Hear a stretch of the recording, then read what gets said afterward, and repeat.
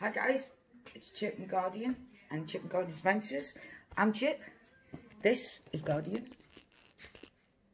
There he is, all acting all soppy and cute. There you are, Guardian. Right. So today,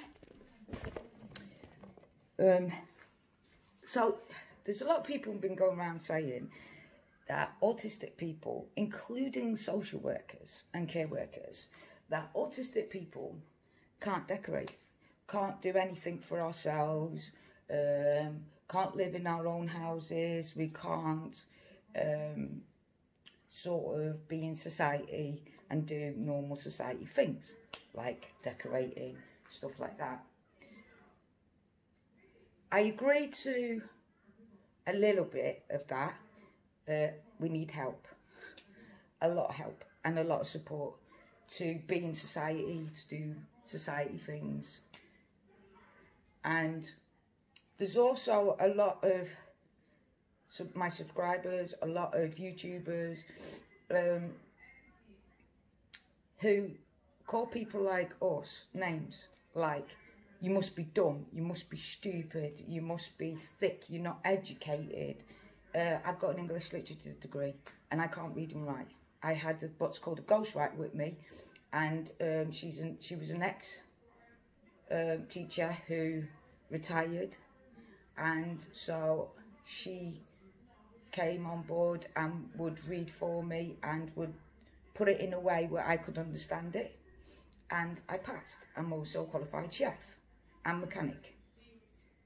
So we can do things. However, when I was small, um, we were treated as bad kids and sent to special schools to do mechanical courses and play games and just put the naughty kids away. That that's that was the we used to get the best six of the bat, the best six um, of the cane. I was every day getting beaten um, by the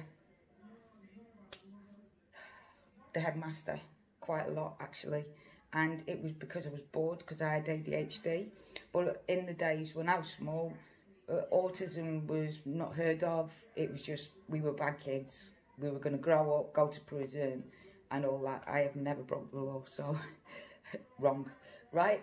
So anyway, so enough rambling. So, um, I've been decorating my house, my gardens and stuff like that for a while, and I've got scars to prove it. And yes, I do need supervising because I am autistic and I know my limits. Um, I have Guardian here to tell me where my blood sugar drops. Um, he's really good. He's a medic dog as well as a service dog. Okay, so therefore he knows if I'm getting pneumonia. He knows if I'm coming down with something. He knows if I'm about to pass out because I'm hypoglycemic. He, he knows. I am not diabetic. I am hypoglycemic. Okay? There's a big difference. A lot of people say, oh, automatically you're diabetic. No. Hypoglycemia is when your blood can't produce enough sugar and for you to absorb sugar. And it always stays low to the point where I crash and burn very easy if I don't eat. I also have bowel disease, which means that I can't eat. So I'm at catch 22. If I eat, I'm in pain. If I don't eat, I'm not much in pain. Yes, I'm in pain still, but not as much. But then my sugar level drops and I'm in a coma. So I can't win. But isn't that the autistic life? What can I say? So, um, a few weeks back, I had, I've had a load of people die of COVID. That's family like uncles and aunties and um, there's been quite a lot of deaths in the last few months of, of COVID. So, because um, they're in the midst of London, it's difficult, you know. Um, you've got to go out, there's no places to walk, you're bumping into everybody else. I don't understand when the government says do exercise when London's not an exercise place. You, you're packed in like sardines, so, you know what I mean? And um, it's so bad and screamy and I couldn't cope um, in Oxford streets and stuff, so I keep away from them areas. So, me and Guardian um, have decided, I, um, I got down, very down, very quick. I couldn't understand things very well. Um, I had some problems with my care workers, um, were, were being blamed for stuff they never did um, by the social worker and my appointee. And anyway, it went all too much for me and it put me into a downward spiral. People know if you've, if you've ever suffered, not just once, from a panic attack, then you know what I'm talking about. It puts you in a place where it's scary, where you're frightened all the time of the panic attack. And it gets to the point where you're exhausted. Now, most people, I, went online to look about panic attacks, and all I could find was 10 minutes. That's all it lasts is 10 minutes. Mine can last between an hour to eight hours. And I try to do hypnosis, I tried to do that, but I've got ADD. So I can't sit still. I can't, my mind can't quiet so it can get in. So I found affirmations are good. Um, if you want to try that, try it. Um, every day before you get up, before you have panic attacks, every day before you go and do something that you know may cause you to create a panic attack, try do some affirmations um, about yourself because the brain um, will only take in what you give it your eyes, your nose, your mouth, your ears, your thoughts. Right? So it works hit and miss. I'm not going to say to people, yeah, panic attacks are fine, it's controllable. It ain't. Um, one time it came on, all of a sudden I was okay, I was taking Guardian for a walk. It was quiet, we were on farm, everything was fine. And then, for some reason, boom, I felt like hell, like like death would have been better for me. Another thing with panic attacks, people say you've got a fear of dying in this panic attack. No, I don't. You've got a fear of stop breathing. That's not my fear. So therefore, it doesn't. I'm not frightened of dying because that's the easy part. To me, living is the hardest part. so um, it's more frightening for me to live than it is to die because not only because of my conditions but also my autism and the care I receive is it's it's sometimes can be dangerous um, in the wrong hands. If I'm in the wrong hands, it can be dangerous, and it has been. Where to the point where I've not been fed, and I, um, they never gave me money to feed, and I ended up nearly dying of starvation. So, guys, I'm telling you, being autistic is hard work being normal is hard work. So imagine what it's like for us. But as for going back, this video is the start of, I'm going to show you around. Um, I've started stripping the walls. I've burnt myself four times already. Um, using, I don't know if you can see it, using the um, steamer. Uh, I burnt my face, I burnt my arms. That's just part and partial because I'm not being supervised. So it does that and I can't wait to twice a week to, to just strip a room, you know what I mean? Um, so when my care workers come, they work really hard. They they support me. They even get their hands dirty underneath a car bonnet or in in in the garden. They they just go beyond what they're supposed to do. To be fair with me, I think I knock her off of them out. To be fair, but that's just me. So yesterday I fell down the ladders, and then people were saying, "Chip, why don't you record yourself decorating from start to finish, how you decorate, the way you decorate, to show people that autistic people can manage badly but manage. And also it'll also show that we do need a lot of support and we need a lot of like input and we do need supervising a lot of the time but that's not our fault. We didn't ask to be born this way. And for all you lot that are writing down, oh, you're a retard and stuff like that, I did not know what a retard was.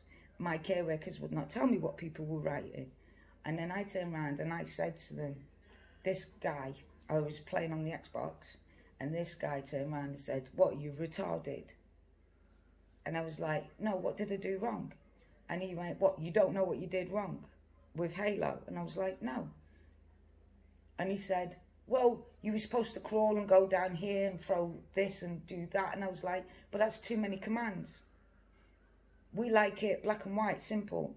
And there's just too many commands what you want me to do in this group. Well, then leave. But I'm autistic. I, I need to, I, I can do some things. So give me something, give assign something to me that I can do. I can tell you what I can do, and then you can assign one or two to me. But start giving me five or six instructions, I'm going to lose. And he went, well, I don't want you on my team. Kick me off. Right? Everyone says, are you unhappy about that, Chip? No.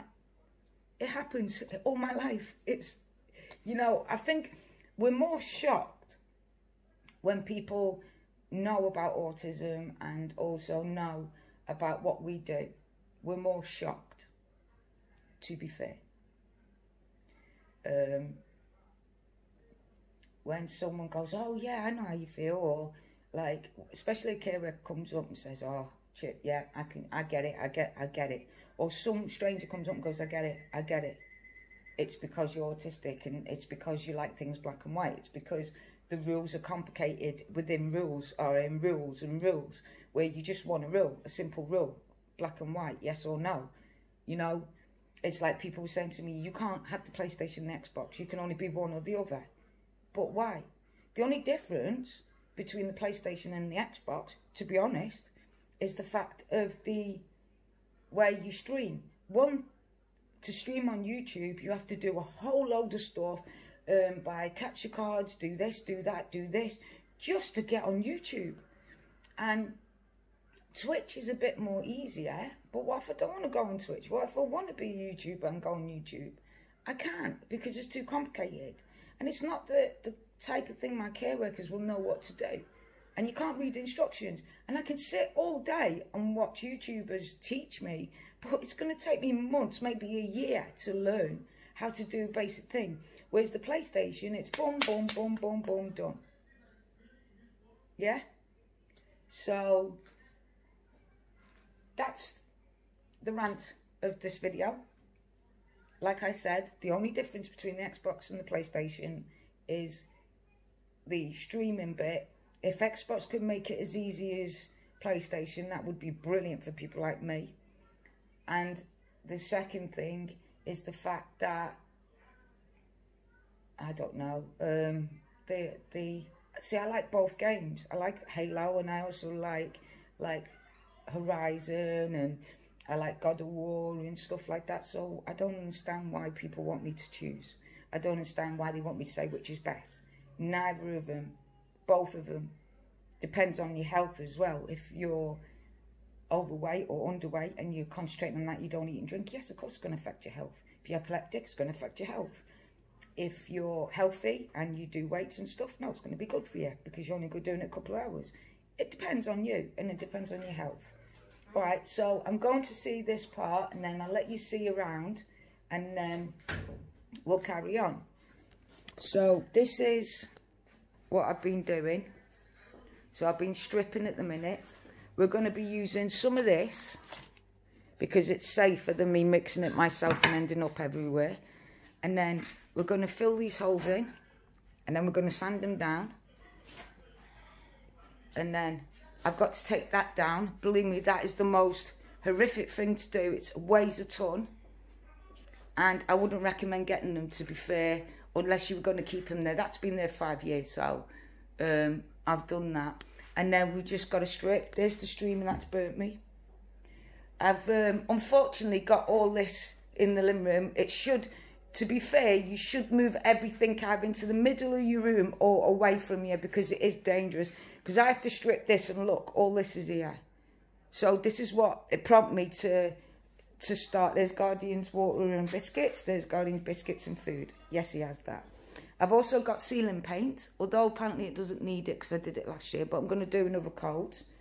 Um, so this is the ceiling paint. Okay. Um, Tesco's are doing it at the minute, £7. Guys, Go to Tesco's if you want some ceiling paint for spring. Now, I know most people don't, do not um, start decorating until springtime or do a spring clean. You might want to just quickly do your ceiling. Seven ninety nine, Tesco's at the minute.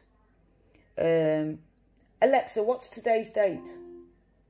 Today is Thursday the 18th of March. So it's Thursday the 18th of March 2021. So if you get yourself down to Tesco's, your local Tesco's, they should have these in. If you've got a bigger house, get a couple, but it's only seven quid. Okay, and it's the cheapest I've found. And it's just pure white paint. Okay, for walls and ceilings. It's silk. But I think they do have matte as well. Okay, so get, get yourself down to your local Tesco's. Um, that's a bargain. also, um, once it's done, I will show you how much everything costs and then I will link it in the last part of the video down below and I will be doing it for cheap. Okay, so not nothing I do is expensive. I've already obviously got my telly and stuff like that. So, me and Guardian, we'll see you for now, won't we, my son? Hey, we'll see you for now. Say goodbye. You're being lazy? He hates it when I clean. You you gonna help mummy? Are you gonna help me? Are you? You want your belly tickled? Do you want your belly tickled? That's being lazy. Are you being lazy? Are you being lazy? Oh yeah. Let me see your face. Oh, you're so cute. This is Guardian. Look how huge he is. Look. Right, so this is all this. This is going to be redone and all this is going to be redone. Now, guys, you know, um, if you've got French doors or you've got large windows, it's very hard to find curtains and net curtains. You probably have to make them yourself, right? Well, these are the French doors. And I'm sick of the plastic. You can't paint it. You know, it stains. You can't do nothing much with it, right? It always looks dirty no matter what you do. So, I've got